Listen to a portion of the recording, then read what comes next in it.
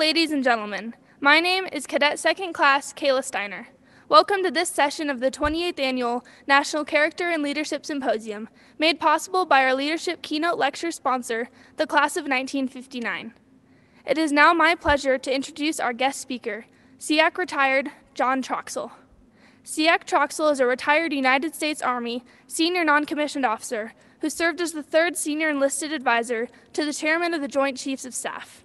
In this capacity, he served as the principal advisor to the Chairman and the Secretary of Defense on all matters related to the troops of the U.S. Armed Forces. This position made SEAC Troxell the most senior enlisted member of the armed forces. After his 37 years in the military, SEAC Troxell opened his own consulting firm and now serves as a brand ambassador for the U.S. Chamber of Commerce Hiring Our Heroes Foundation, the Veterans Leading Group, and Eyewear Safety Systems. He serves as the Vice President for Strategic Planning for Defend USA and the Military Consultant for Alpha Warrior 360 Gyms and the Film 45 Movie Production Company. Ladies and gentlemen, it is a privilege to present to you SEAC retired John Troxell.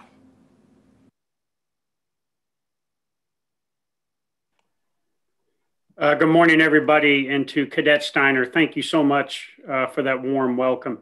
It's truly an honor for me to be here today to be a part of the Air Force Academy's National Character and Leadership Symposium. What I want to talk to you all today about is what I like to call in our military profession and those that are currently living the warrior ethos, uh, preparing for the worst day of your life, whether that's in combat or an everyday life, but certainly uh, the worst days of our lives can come in combat. And I want to start by shaping the operational environment that we find ourselves operating in today and uh, for the foreseeable future.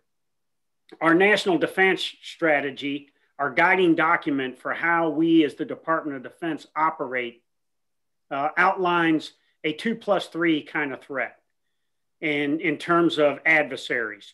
And it's built around that we know we live in an era of great power competition, but we also have to respond to crisis, and certainly we have to be able to fight and win in conflict. And when we talk about great power competitors, we're talking about nations like China and Russia, who, uh, below the threshold of conf- conflict, have done malign activity and provocative kind of things uh, in for China in the South China Sea and pursuing uh, events outside the second island chain in the Pacific, but also with their Belt Road Initiative to continue to be a global presence. And on any given day, you can see China operating both diplomatically, economically, and militarily in continents of Africa and South America, and not just uh, routinely in the Pacific. And for Russia, the Russian adventurism that started really with the uh, annexation of Crimea from the Ukraine and now continues uh, in its efforts to splinter NATO uh, to further their gains, but also their presence in the Middle East, as well as their presence in Africa and South America, shows that the Russians are also a great power competitor that we are going to have to compete with. But we're going to have to respond to crisis. And although these competitors are near peer kind of threats that will certainly uh, uh, do things that could cause us to end up in another uh, world war. Um, really, the crisis that we think will come, it comes from nations like North Korea and Iran, with the North Koreans, what they're doing to continue to pursue nuclear capability and that can range uh, the western part of the United States. And with Iran continuing to be a threat, not only in the Middle East, uh, but a global player because of their ability to be the state sponsor, the number one state sponsor of terrorism around the world. Uh, their in investments in their missile force, as well as uh, the disruptive activity that they use through their proxy forces in places like Yemen, Lebanon, and then certainly uh, throughout the uh, Persian Gulf and the Arabian Gulf. And then when we talk about fighting and winning, that is not necessarily fighting and winning against uh, these long-term power competitors or these rogue nations, but also uh, the threat of terrorism. And although it may be nascent now uh, during the coronavirus here, let there be no doubt that people like ISIS, Al Qaeda and like organizations like that will continue to pursue their brand of radical ideology and continue to attempt to conduct attacks not only in Western Europe and other places, but also ultimately back in North America and the United States. So, what does that mean, especially when it comes to potential near peer kind of conflict that uh, our forces may see? Well, certainly um, a rise in air to air combat uh, will be a reality. A rise in surface to air missile threats will be a reality, as well as a rise in infrastructure and convoy threats uh, throughout the uh, operating space that we're operating in. And let there be no doubt, this will be a multi domain conflict, not only in our traditional warfighting areas of air, ground, and sea, but certainly in cyber, in space, and in our, the nuclear domain, uh, we'll be fighting as well. So, what does that mean to the men and women that have to serve uh, every day in uniform? Well, we have to make sure that the men and women in uniform are prepared for the worst day of their life.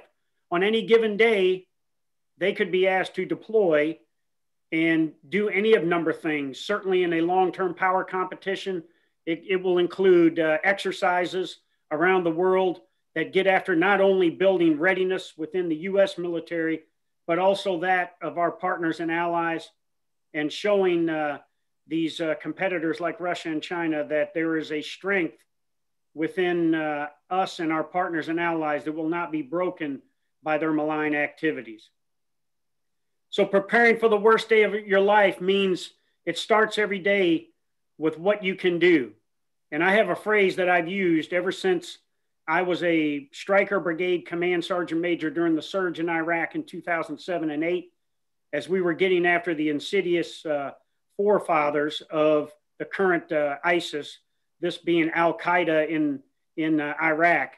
And it's called PME hard. That means in order to be best prepared for the conditions we face on the worst day of our lives, we have to be physically, mentally, and emotionally hard. Not just tough, but hard.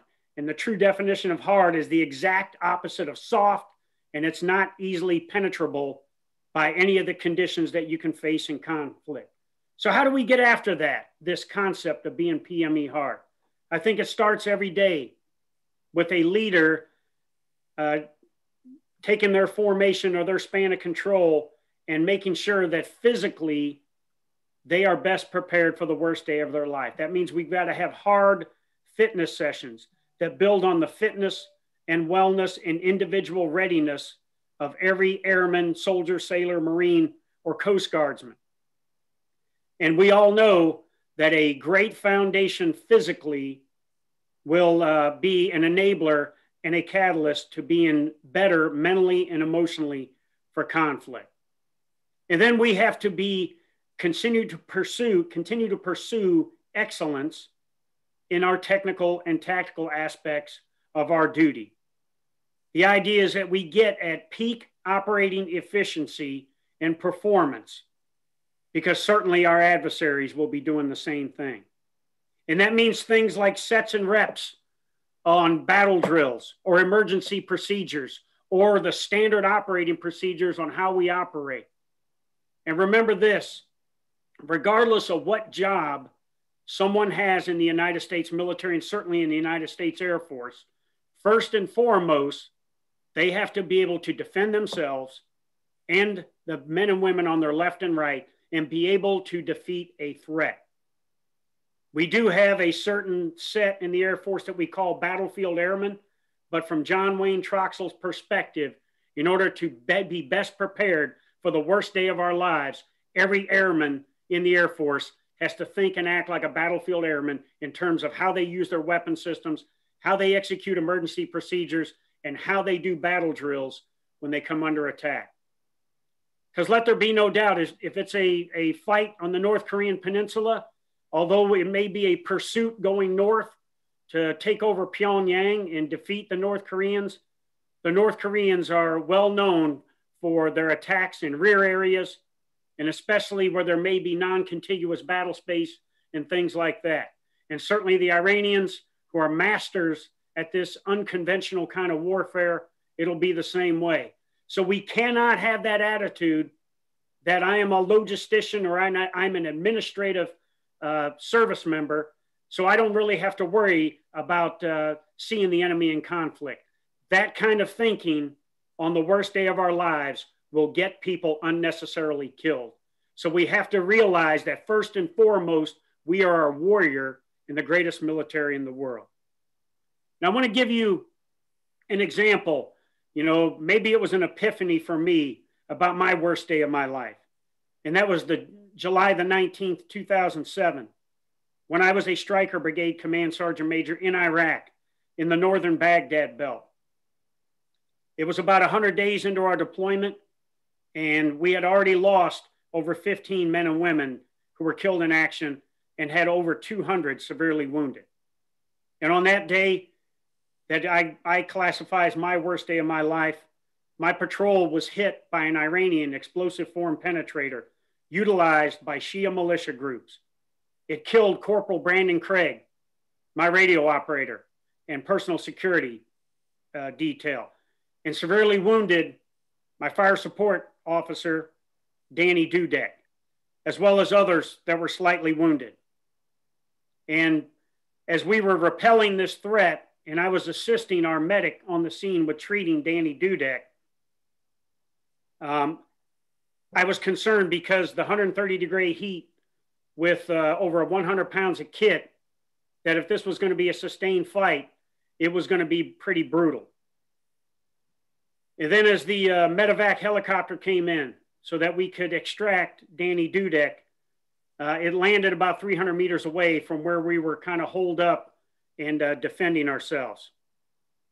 And as I tasked two other non-commissioned officers to come with me and the medic, as well as the flight medic off the helicopter to take Dudek to the, hel- to the uh, medevac, as we continue to move under fire, I started to notice that some of these non commissioned officers were succumbing to the heat. And even the flight medic was beginning to succumb to the heat to the point we had to put the stretcher down about 100 meters from the helicopter. And I had to task others to come and help us get there. And as we finally got Dudek on that helicopter and got him out of there, and we can and we ended up uh, eliminating the threat to us, I realized in that point in time that I, as a leader, as much as I had prepared myself for the worst day of my life, that I had not held my subordinates to the same standard that I held myself. And it played out on the worst day of our life in combat where we needed to get a wounded troop off of the battlefield and be able to repel a threat. And so from that day forward, I told myself that I will continue to hold myself to a high standard, but I will continue to hold those around me to the same standard I expect out of myself as a leader. Because let there be no doubt, the worst day of your life could be a, a routine kind of day that you think is just going like normal, and all of a sudden it just goes bad in a hurry.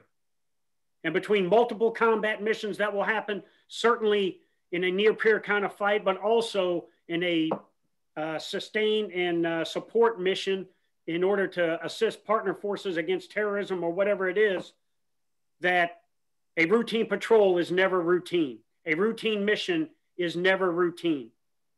We have to take every mission like it will be the last mission we do on the worst day of our life. And I will tell you that I learned from that. And I learned that uh, there's two things you can be after something bad happens to you like that. You can be a victim of the circumstance and blame yourselves or potentially blame others for what happened to you that day, and certainly blame the enemy, or you can become a champion and you can say, The enemy got us today. The enemy will always get a vote, regardless of how prepared we are. But being a champion means that I am going to take on what happened to us and I am going to work my butt off as a leader and I'm going to train my subordinates so that we are better prepared than we were the day that we got hit the worst. And continue to grow and develop. So not only that, that we will we continue to inspire our future combat action, but potentially intimidate any enemy action against us.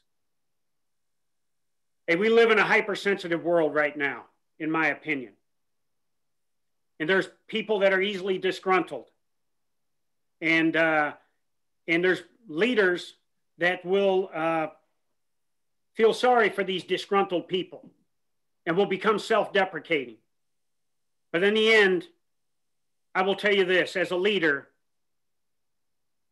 if we have people that uh, are not doing things right or they are disgruntled because they didn't get a promotion or something like that, certainly we have to be compassionate in what may have happened to them and uh, be responsive to them and assist them in continuing to be an effective member of the team.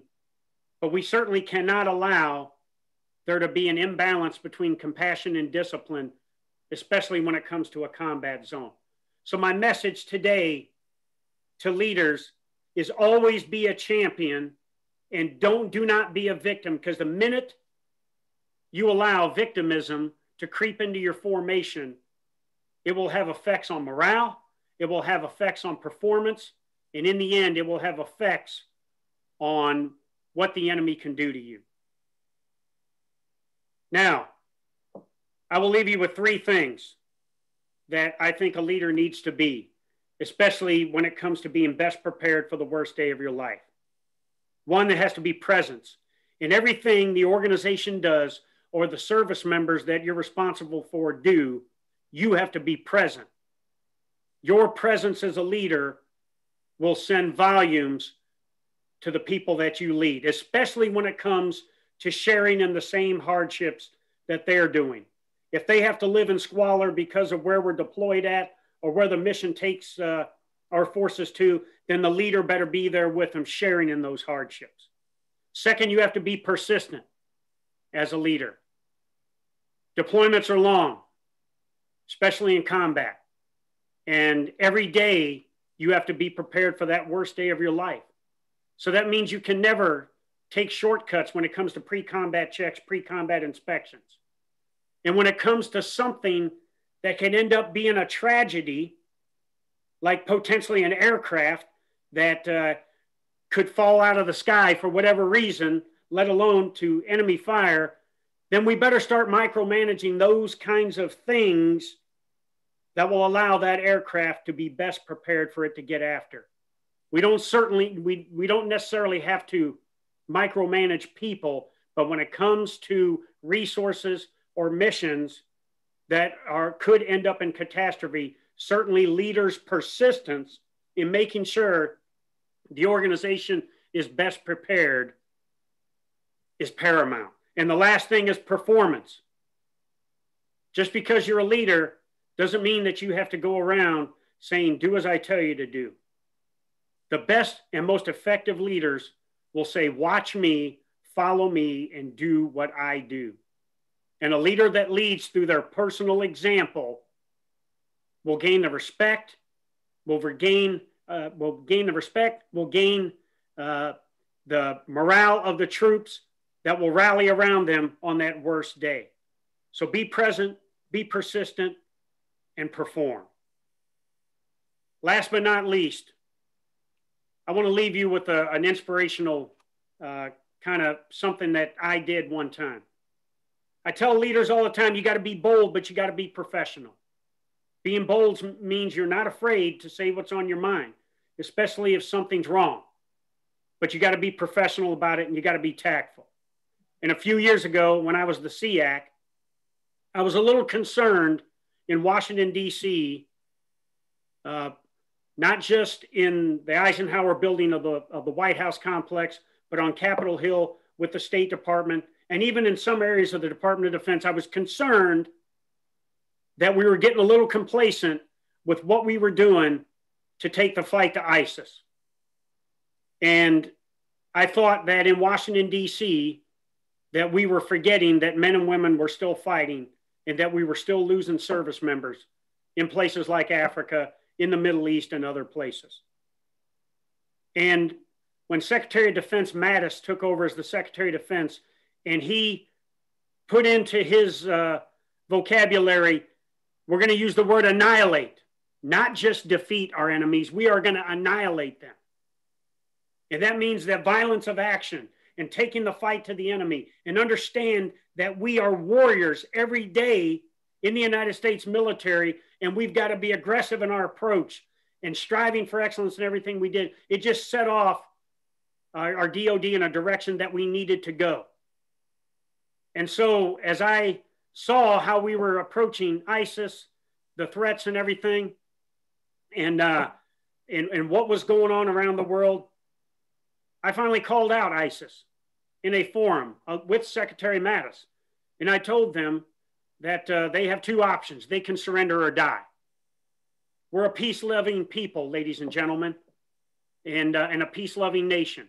If our enemies, like ISIS, surrender, we will treat them with dignity and respect. We will safeguard them to their detainee holding facility cell. We will provide them food, a place to sleep, shelter, and above all else, we will uh, provide them due process for their war crimes.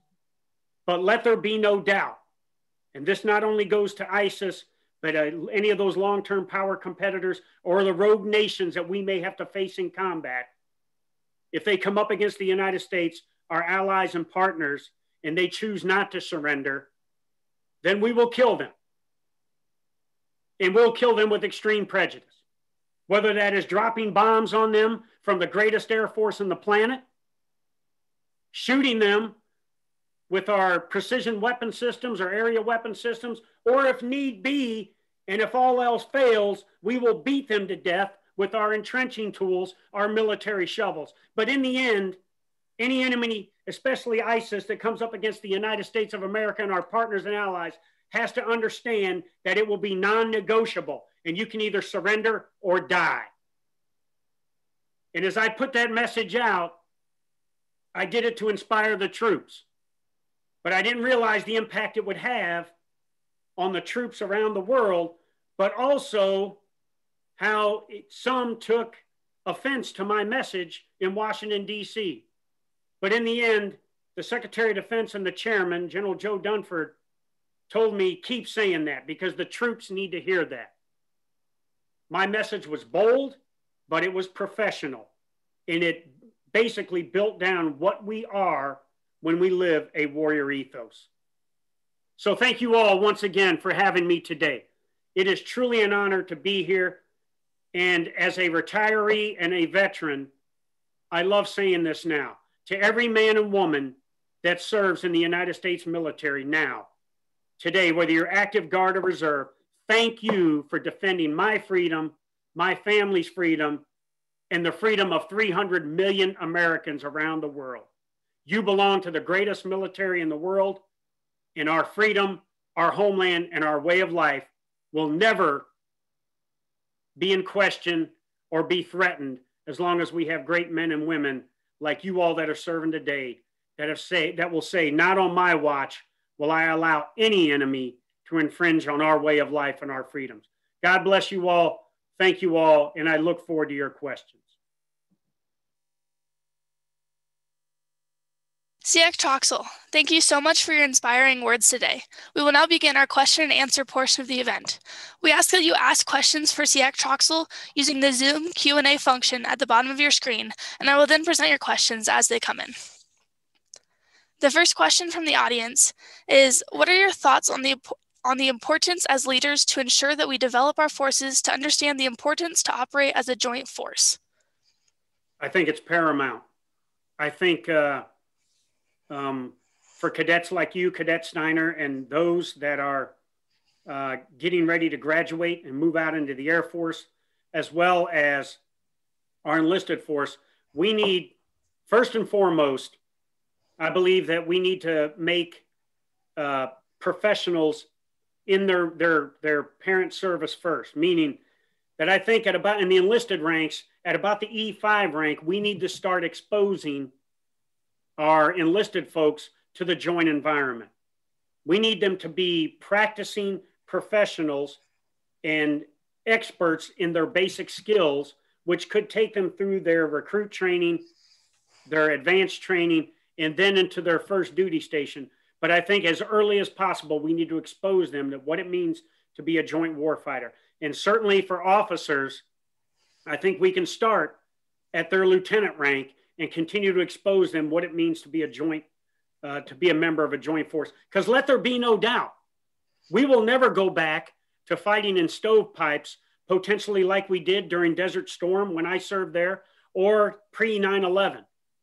The world is different now. The threats are different now. We will always fight as a joint and multinational force in future conflicts. So it's imperative that we continue to grow joint warfighters. Don't let don't don't take this wrong or don't be mistaken in this. Everybody needs to have service identity, whether it's an airman, space force, marine, soldier, whatever it is. Their service identity is important, and they have to be a master at their basic skills within their service. But to be to promote maximum effectiveness and efficiency, we have to develop joint warfighters sooner, not later. Thank you. Thank you for your thoughts on that, sir. Um, another member of the audience has asked, what is the importance of diversity in our profession of arms and in relation to warrior ethos? Diversity is what makes up our military. Um, if we have everybody in our military who looks alike, who comes from the same background and same culture, who acts alike, thinks alike, we will have groupthink and we will have gaps and seams within our force. We have to leverage what makes America great, and that's our, our diversity. And we have to be inclusive in everything we do. And for a leader, that means you have to know your people. And as we talk through the DOD right now about people first, that means you have to know their people. Where do they come from? What is their cultural background? What is important to them? And in the end, that diversity bound by that single uniform that we all may wear or that joint uniform that we all may wear will make us most effective. And we have to continue to look at talent and manage talent based on how effective they are, not so much on how they look or how they act. We have to be inclusive in everything we do. And that is our greatest strength in our military is when we empower and are inclusive in everything we do and we put diversity at the forefront. Another member asked, uh, Sir, how do you work with subordinates who don't respond to your hard military leadership style? well, I, uh, I don't know that it's hard. What I, um, I try to be inspiring in everything I do. Here's one thing I know. If we, if, if a leader is ethical, moral, is, is legal, moral, and ethical in everything they do, and they're inspirational in their approach, and they're leading through their example, uh, whatever they expect their subordinates to do, they're doing it and they're demonstrating it. I don't know that that's hard leadership. I think that is uh, showing people this is what right looks like. And if, a, and if a subordinate takes offense to the leader demonstrating what they expect out of them, then, in my opinion, I think the subordinate is the one that has the challenges. But I think if that's the situation, then the leader has a responsibility to influence those subordinates that this is the way we need to be. One thing that we don't do enough of is have discussions on what the worst day of our life could look like in combat. And I will tell you that uh, after that deployment, where I had my worst day, I had 54 men and women that were killed in action, and I had over 500 severely wounded. And to this day, I carry cards around with me with their names on them so that I never forget. And even for 14 years after that, as I continued to move up, I wanted to make sure that I, as a leader, was growing every day and getting better. And if I'm growing and getting better every day, then the expectation is my subordinates will do the same thing. So I don't know that it's hard leadership, but in the end, as long as you are, as a leader are demonstrating through your example and inspirational in your approach, I don't know that subordinates can have an excuse to say that you're being too hard. Uh, now, if you're asking them to attain a standard or attain perfection, uh, uh, then you might be going down the wrong road because your approach could be toxic. But if you are demonstrating your example, you're expecting us that the minimum standard, we are going to meet that without a problem. And we're going to continue to strive for excellence, not perfection. Then I think you have the right approach. And that uh, in my 38 years of service, that's what subordinates and that's what young troops look for is that kind of inspirational kind of approach as a leader.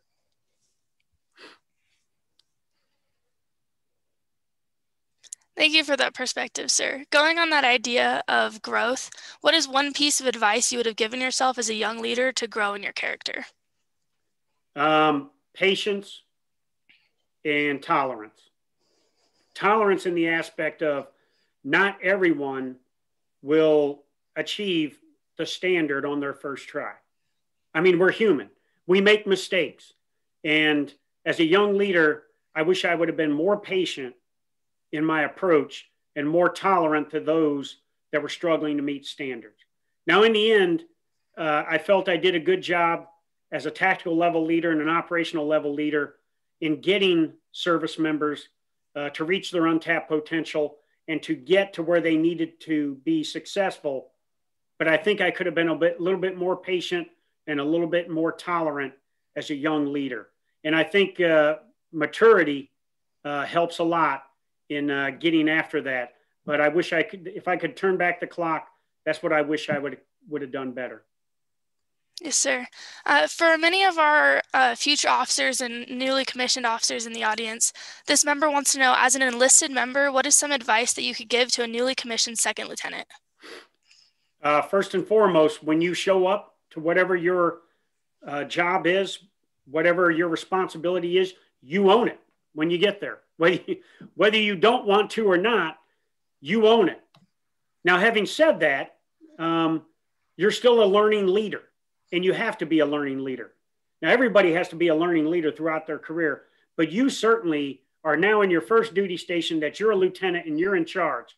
So you have to leverage the experience within your span of control or wherever you're working at. And that means those non commissioned officers, the chief master sergeant, the senior master sergeant, the chief or the master or the uh, master sergeant, and certainly the mid-range leaders, the staff sergeants and the tech sergeants.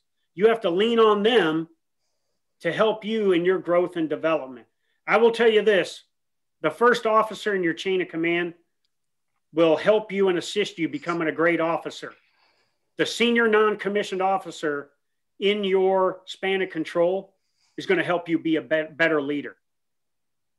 But in the end, you own it. So you can't come in and say, I'm going to be hands off and allow my non commissioned officers or subordinates to run it. Because in the end, if something bad happens, that commanding officer or that officer in charge is going to come see you. So you own it. So you've got to take the ownership. But in the end, understand that you're still a learning leader. Learn from your non commissioned officers and continue your growth and development.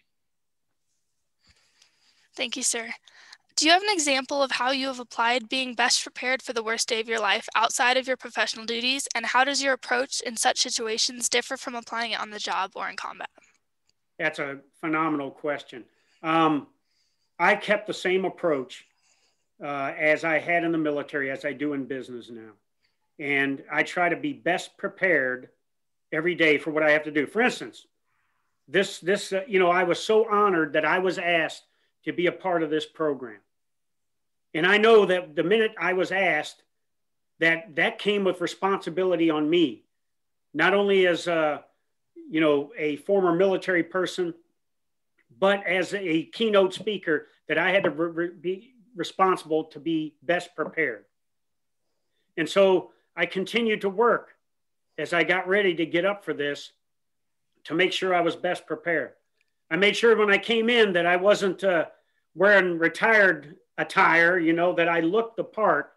Um, and in the end, uh, much like I did on active duty, I want to, in business, I want to look, act, and perform like a professional. So I don't know that my approach has changed at all.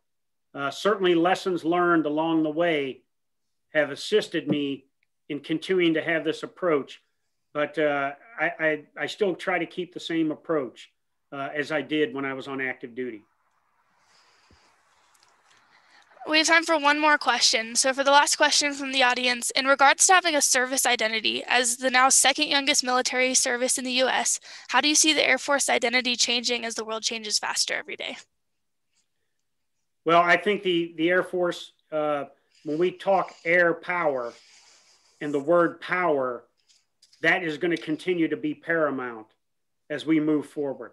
As I mentioned before, you know, the Air Force was doing a lot of things and continues to do a lot of things in the defeat ISIS, the lasting defeat of ISIS campaign and everything. But it's uh, going after targets that are relatively uh, not opposing our aircraft and everything. But when you start talking about a fight with uh, Russia or China or North Korea or Iran, now it's more air to air combat. Certainly with Iran, and China and Russia, the uh, and North Korea, the surface to air threats will continue to uh, move forward. So I think what we have to continue to do is one, our modernization efforts have to continue to be on point so that our fighter and bomber aircraft are uh, provide us competitive advantages over any threat out there, and we continue to push forward with investing in our greatest uh, treasure and what I think is our greatest competitive advantage, and that's our people. And so, our education, our training, and our experiences, we have to continue to make sure that there are, there are optimal opportunities for men and women to continue to grow and develop. Because in the end, that is our greatest advantage is our people. So I, I foresee that the Air Force is going to continue and we'll, we'll have to be the number one Air Force in the world. We will con- continue to show our allies and partners how we get after being best prepared, and we will continue to be there for those mutual defense agreements that we are part of uh, to support our NATO allies and certainly any of those other nations out there that are looking uh, to grab a partner. Because in the end, the number one partner in the world is the United States military. There's 196 countries in the world. The United States military is in 169 of them, with a lot of those countries has have a presence from our United States Air Force, and that's not going to change in the future. And when I hear people talk about the United States is losing uh, their image with the the rest of the world, I call BS on that, because as I still go around and I still engage with our foreign partners, they are still looking for the United States to be the partner of choice so we can assist them in their deterrence efforts against the malign activities of a China or Russia or any of these other nations. So I think the Air Force is going to continue to be on point, uh, and will have to be on point uh, and at the tip of the spear in defending our freedom in our nation. SEAC Troxell, thank you again for your time today. We appreciate your willingness to share your perspectives with us. Your unique background and experiences have enriched our view of warrior ethos and what it means to us as cadets and as future Air Force officers. As a token of our appreciation, a commemorative plaque is on its way to you. We hope you will remember your time with us as fondly as we will. Ladies and gentlemen, this concludes this NCLS session. Thank you and have a great day. Thank you. God bless you all. Thanks.